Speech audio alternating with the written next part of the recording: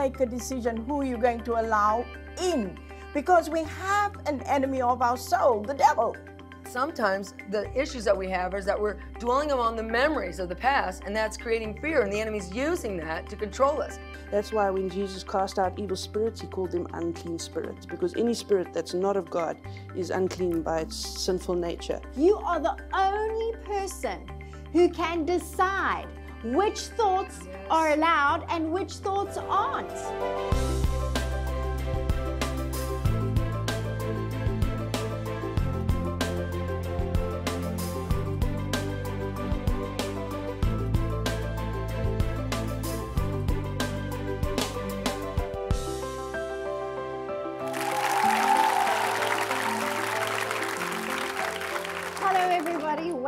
To the Higher Life. My name is Jenny, and in this series, it's all about the wellness of our souls. In fact, we're going to learn how we can gain control over our thought life so that we can live in the fullness of blessing and freedom and healing that Jesus won for us on the cross. Now, to help us get into the depth of God's word concerning our soul, I would like to introduce the panel to you. We have Christine Blumstein from Kenneth Copeland Ministries Africa. We have a powerful minister of the gospel, Katie Souza from Expected End Ministries in the USA. And Dr. Michelle Strydom from Eagle's Wings Ministry, really been a blessing to people all over the world. Now, of course, we've been speaking about the soul. And in the next two programs, we're actually going to begin to understand how the brain works and how thoughts are actually processed and formed inside of our minds. Let's get into the word and find out more about this.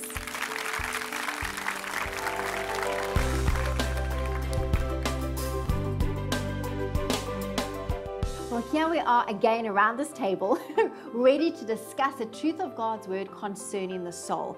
Now, ladies, if you remember, we actually had, I like to call it a pig mark, our first pig mark to understand when we pay attention to our thoughts, the very first thing we need to do is understand the source of those thoughts. How do we know if what we are thinking is of God or if it's of the devil or if it's just plain us? Michelle, what would you say just to help us recognize those thoughts? Yeah, it's very important what you said, um, Jenny, uh, that our thoughts can come from three possible sources. They can be our own thoughts, they can come from the Holy Spirit, and sometimes they can come from the devil and his kingdom. And we found an easy way to help us discern if a thought in our mind is of God, if it matches with His Word, if it's from the Holy Spirit, or if it's a lie coming from the devil's kingdom, is just to add in Jesus' name at, the, end, of that, it. th- that thought. so if it's a thought that's from um, the Lord's kingdom, it's going to make sense, it's going to harmonize within our spirit. So, for example, if you have a thought in your mind that says, I know that I can do this because I'm more than a conqueror in Jesus' name, that makes sense. It goes together, it harmonizes. But if you have a thought in your mind that says, I'm such a useless good for nothing in Jesus' name, well, it's rather It obvious. doesn't go, it doesn't work. Yeah, it's rather obvious what th- what kingdom a thought like that is coming from. So we really need to uh, become aware of the fact that not all the thoughts in our minds are our thoughts. Um, in the last episode, we mentioned Ephesians 6, verse 12, which says, We don't war against flesh and blood, but against principalities and powers of darkness and spiritual forces of wickedness. So it's describing this invisible kingdom that answers to Satan, um, consisting of what we would say evil spirits. And in John 10, verse 10, it talks about how um, Jesus came to give us an abundant life that right. overflows. But it says that the thief comes to steal, kill, and right. destroy. And he wants to even steal, kill, and destroy in our health. So, how does he do that? Well, it's very important to understand how disease develops through what is called the spirit soul body connection. I like, can we say that again? Mm. Did you hear that? I, I want this is you. In fact, Michelle's going to take us on a little journey here to bring it all together: spirit, body soul connection. Sorry for interrupting, Michelle. No, very good. So, yes, in our previous episodes, we were talking about the three parts of our being. So, it's important, first of all, to understand the pathway of disease and how it develops. Mm. And that then gives us insight into how the enemy's kingdom works Right. so that we can use God's word to defeat and overcome him. Right. So, it starts in the spiritual realm. For example, in 2 Timothy 1, verse 7, it says, God has not given us a spirit of fear, but a power, love, and a sound mind. Now, what that scripture is showing us is that fear is not primarily a thought or an emotion, it's a spirit. Correct. So it begins in the spiritual realm. So, how it works is the spirit of fear wants to put disease on us. And the devil knows that all he has to do is to train us in a different way of thinking that is opposite to God's way of thinking and Yes. opposite to his ways. So, for example, in Matthew 6, verse 31, Jesus said to give no thought for tomorrow. In other words, don't worry about the future because I'll help you to deal with whatever hard thing comes up when the time comes.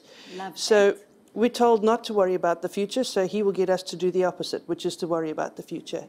So, how it works is the spirit of fear will put thoughts in our minds at the level of our soul in the first person.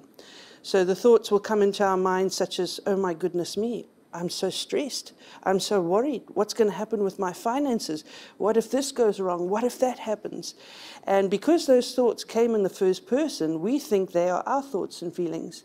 And so we follow that way of thinking as if it were us, Thinking it's responsible. Yes, and thinking that, you know, those are our thoughts.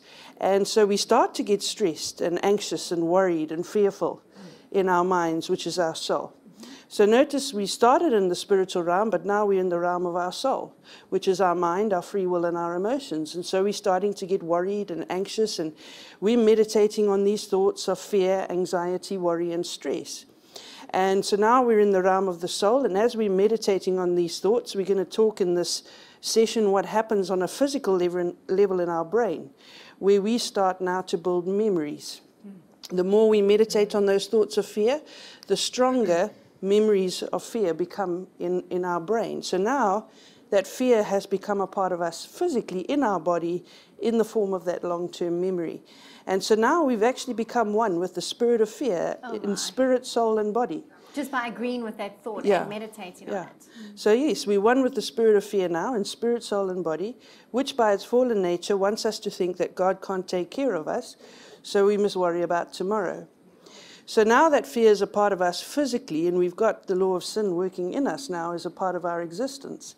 And then what then happens physically is that uh, physical memory of fear in our brain, uh, which we're going to speak about in the session, how it works and how it forms, stimulates a stress reaction in our body. And during the stress reaction, you've got two um, nervous systems in your body called the sympathetic and the parasympathetic nervous system. And I don't want to overwhelm you with the medical detail, but just to put it in short, the sympathetic nervous system becomes overactive and it overstimulates the blood vessels, making them what's called vasoconstrict, which means they become more narrow. So now you've got the same volume of blood that has to flow through a smaller space, and that now increases your blood pressure so that it becomes too high. So I've basically explained how high blood pressure develops Exactly. through the spirit soul body connection. And that sets the stage for you for over 700 diseases that we're dealing with today. That develops in that pattern through the spirit soul body connection. So now you've got high blood pressure, and, um, and it starts to cause all sorts of problems and disease in your body. And um, you know what typically happens is we go to the doctor because we're not feeling well, and he measures your blood pressure and he says, "My goodness me, this your blood pressure is dangerously high. This can cause strokes and kidney damage and heart attacks." And Another thought. and, and you thought you had fear when you first walked into his office. You know, now you've really got reasons to worry about the future. You know, now you've got the fear of death. Yeah? And the, and, uh, the doctor's right, because if our, high blood, if our blood pressure remains high, it does cause all of those complications. And so you say, Oh my goodness, what should I do, doc? And he says, Oh, don't worry. We've got high blood pressure medication, like, for example, beta blockers that will block that stress reaction and that oversympathetic, overactive sympathetic nervous system, and you'll be fine. So you breathe a sigh of relief and you go, oh, great, so this is like an antibiotic, right? Take it for 10 days and then I'll be fine. And he says, no, I'm sorry, it's been my experience that you're going to have to be on these drugs for the rest of your life. Wow. And without the, taking these drugs, you could die These drugs are the only thing that are going to keep you alive. And, um, and so, you know, we go and we buy our uh, prescription drugs, and then you start taking them, and then you go for your follow up visit, and your blood pressure's rechecked again. But, and it's, it's come down, and so it appears now you're out of danger. But now that you're on prescription drugs, have you become a doer of the Word of God? Mm. Now that you're on prescription drugs, have you overcome the fear and the anxiety behind it? And no, we haven't. So that's why actually we're just being taken into a deeper level of bondage. So, anyway, that helps us to understand how disease develops through the spirit soul body connection. Wow. And when we talk about healing, it happens through exactly the same pathway, through the spirit soul body connection, where we have to begin where the problem started in the spirit. Mm. So the problem began with a spirit of fear. Um, in the last episode, Katie mentioned uh, 2 Thessalonians 5, verse 23, where um, Abba Father explains to us that He wants our spirit, soul, and body to be sanctified. Absolutely. And so it began in the spirit with a spirit of fear, so our spirit needs to be sanctified. In 2 Corinthians 7, verse 1, it says that we must cleanse ourselves from all filthiness mm. of the mm. flesh and spirit. Mm. And so, what is filthiness of the spirit? Well, anything that's not of God is unclean by its fallen sinful nature. So, I just explained, for example, how a person with high blood pressure has become one with the spirit of fear in spirit, soul, and body. And that's not a clean spirit, that's an unclean spirit. It doesn't match God's nature. And so we've got to cleanse ourselves of all filthiness of the spirit. That's why when Jesus cast out evil spirits, he called them unclean spirits, because any spirit that's not of God is unclean by its sinful nature. So all we need to do is to repent before Abba Father for listening to the lies of the spirit of fear. And then we need to take up our authority in Christ and command that spirit of fear to leave our lives in the name of Jesus. Mm-hmm. And that is simply sanctification of the spirit. The word sanctification means cleansing, getting rid of filth. So you're cleaning your spirit by getting rid of that spirit of fear that is not of God. So there we've dealt with the spirit where the problem began. Then we move to our souls, where our souls need to be sanctified. And uh, for example, in uh, Ephesians 5, verse 21, I think it is, it says that we are cleansed through the washing of the, the water, water, of the, the word. word yes. In John 17, verse 17, it says, Sanctify them by your word. Your word is your truth. Word is truth yes. And um, Katie also quoted that scripture from James where it says, His implanted word is able to save our save souls. Our souls yes. So, this is the renewing of the mind part, where we need to put in the time and the effort to spend time in God's Word and retrain ourselves to think like He thinks, mm-hmm. which in this case is not to have fear and worry, but to trust in Him with all our hearts, etc. So we need to study the Word of God, what it has to say about fear and anxiety. As we are retraining ourselves in our soul, renewing our mind, which is the sanctification of our souls, physically, there's also physical changes happening in our brain where slowly those poisonous memories of fear are now being replaced by healthy, life giving memories um, of peace, love, joy. Those are the things that, you know, cast out fear. Yes. And uh, so as we're building those memory trees in our brain physically, those memories then stimulate a reaction that breaks the stress reaction in our body. That brings balance to the two nervous systems. So the sympathetic nervous system is no longer overactive. It doesn't overstimulate the blood vessels. The blood vessels widen, and now your blood pressure comes down, and you no longer need the and drugs. you don't need the pills for the rest of your life. so uh, to put it in short, that sanctification of our spirit, soul, and body, where sanctification of the body is removal of disease and everything that destroys it. Whoa powerful. Wow. That is powerful. Awesome.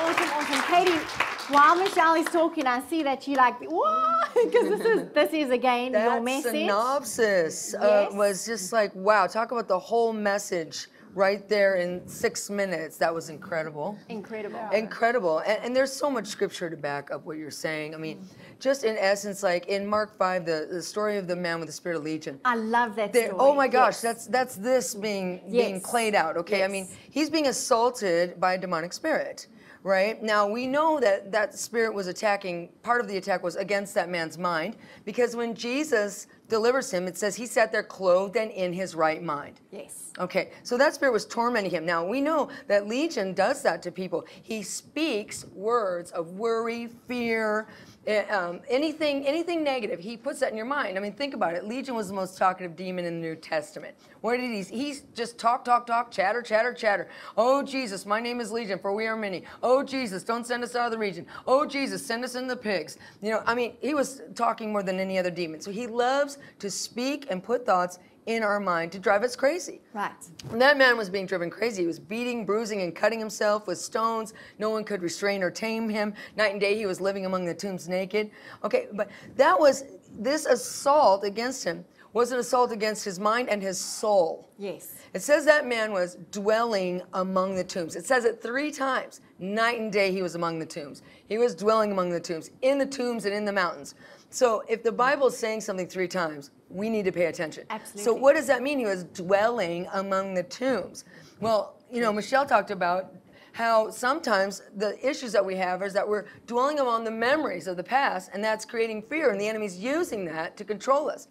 When you dwell among the tombs, you're dwelling among the pain or the memories of your past, the traumas you've been through, the divorces that you've had, to, you know, that you've had in your life, the, the loss of your children, your financial failures that you've gone through, relationships that have failed. When we're dwelling among the tombs, we're dwelling, thinking about those negative memories of those horrible things and those traumas and the situations that have happened to us in our lives.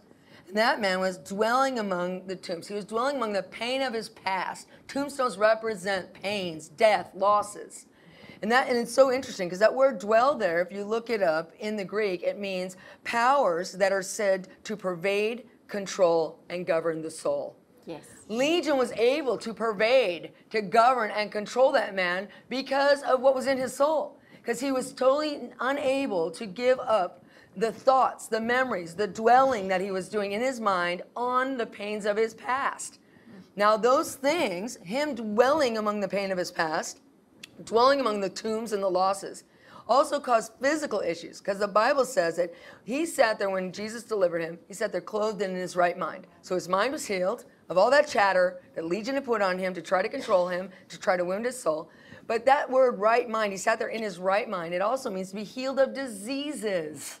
Yes. So the physical diseases, Michelle was talking about how your your blood, your veins constrict, and the blood now the same amount of blood having to go through the smaller vein, creating the blood pressure issues, creating the stress issues, and then putting you on medication for life. I mean, it's all connected to the soul.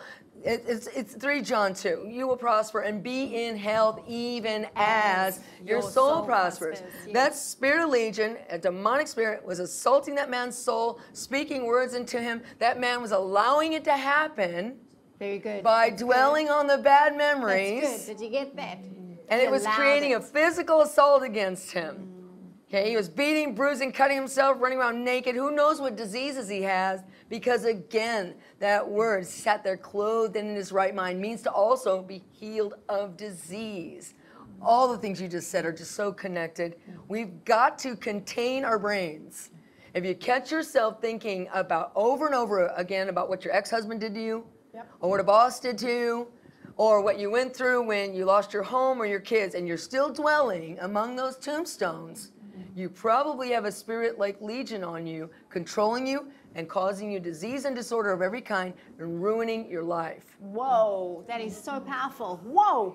Okay, so I have to say something. Christine, tell me if you agree with me, but something that stood out with what both of you spoke about is how you spoke, Michelle, about how when I paid attention to that thought, the, the negative, fearful thought, I became, or I, I don't know if, did you say I became one with the spirit of fear? in spirit, soul, and body. Yes, you've, you've now allowed him a foothold in. You said the same thing, Katie, Yes. the same thing. How you allow, by you allowing the negative thoughts to become a part, you are the only person who can decide which thoughts are allowed and which thoughts aren't. Jesus doesn't do that for you, He's done everything on the cross already. The devil doesn't force you. You say yes, Yes, or you say no. Right, amen. But when you say yes to negative thoughts, what are you doing? You opening up and saying, okay, come, uh, I'm going to come in line with what you are saying. I'm coming into agreement with what you are saying. Hey, come on. Tell me what you think. Yes, you ask if I'm in agreement. Yes, I am. And I just want to bring this Legion was actually 60,000 demons that possessed that man. Because when Legion is spoken about in the Bible, it's talking about the Romans, and they were a legion of 60,000 demons that controlled that man. So he decided to, uh, like Katie said, he allowed them to, to, to possess him, to, to take control of his life, because in the Word of God, in Proverbs 23 7, it says, As a man Thinketh. thinketh, so good. shall his life be. Mm. And like I've said before, and mm. Michelle have spoken about it, and we've all spoken about it, we have to take, and in fact, it's not us saying it's Jesus saying it, take every thought captive. Mm. Take every thought captive, and you make a decision who you're going to allow in. Because we have an enemy of our soul, the devil. And he doesn't like you.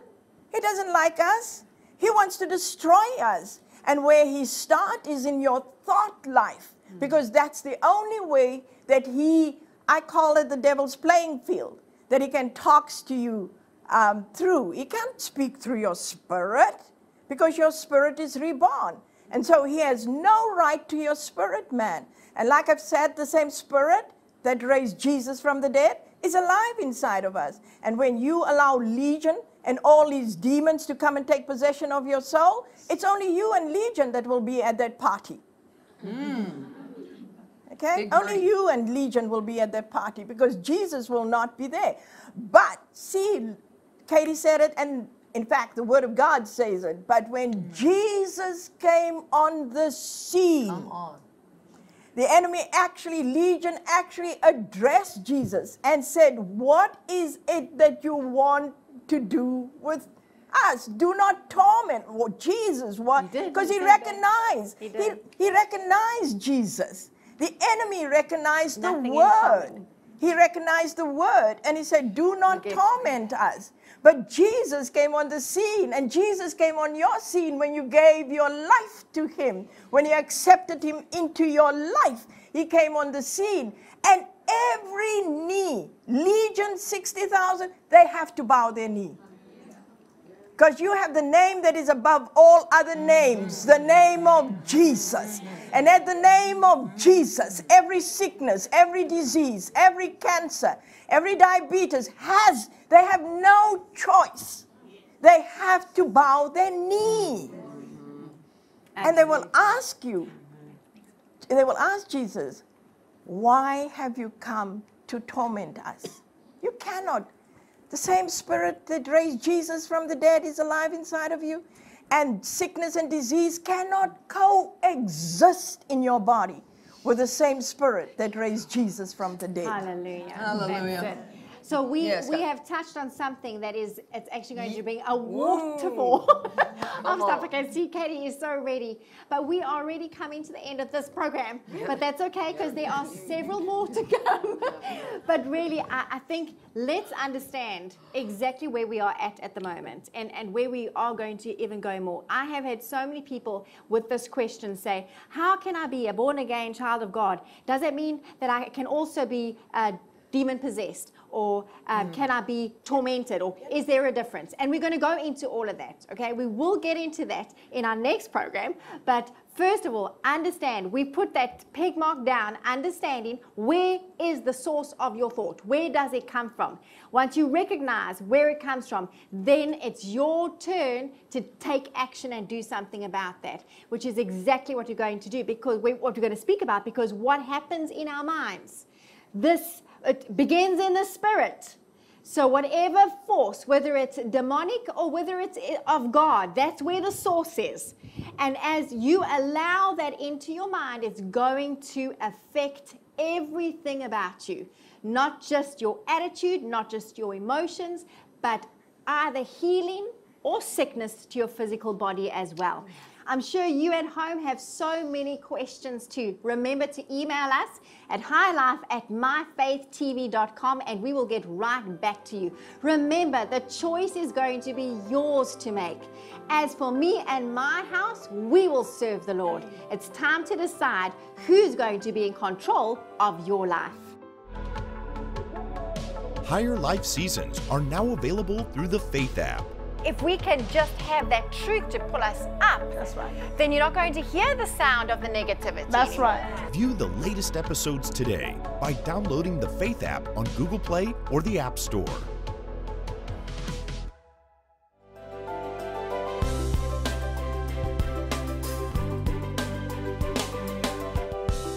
What a powerful program we have just been through. It has been amazing.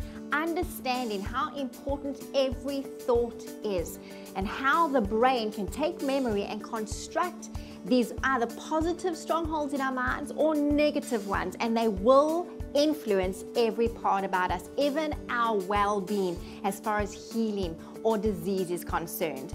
Now, I know that you have learned so much, but I really feel to thank our studio audience for being such an amazing blessing to us.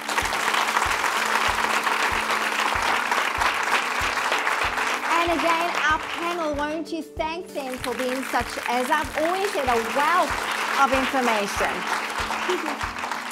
And of course, you at home who've been watching and gaining so much understanding concerning the subject of our soul and how we can have such a good, strong, solid base where we allow good thoughts to influence our bodies and we deal with the enemy and get rid of those negative thoughts that build negative memories and poison our lives.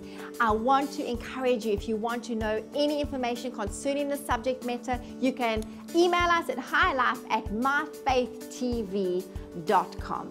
Now remember, we've been dealing on the subject of the soul and how every single thought counts. Now, in our next program, we're going to go into exactly how our memories are formed and how they influence our lives. Until then, God bless you and goodbye.